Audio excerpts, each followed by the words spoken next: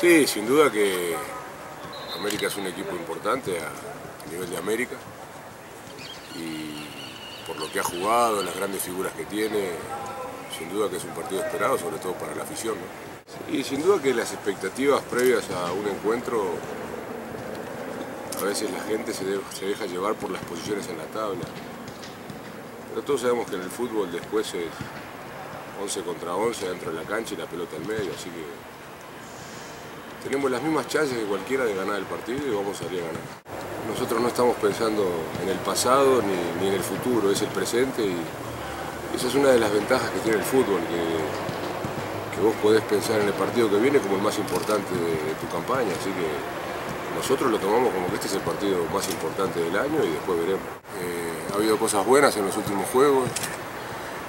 en cuanto al desempeño del equipo, en cuanto a mantener el cero pero sin duda que la asignatura pendiente es ganar en casa y darle un buen espectáculo a la gente, así que para eso hay que hacer goles. Lo estamos trabajando toda la semana, bueno, es una racha que ha agarrado por ahí a nuestros jugadores, a nuestros delanteros, algunos han estado en algún partido, han faltado, eh, pero bueno, creo que lo mejor está por venir, así que tengo plena confianza en todos mis jugadores como la he tenido desde que estamos juntos. Hay que pagar un poco de la gran deuda que tenemos con la afición. Y con nosotros mismos, así que el equipo tiene que salir a ganar, que tiene grandes jugadores, que tiene un gran entrenador como, el Piojo.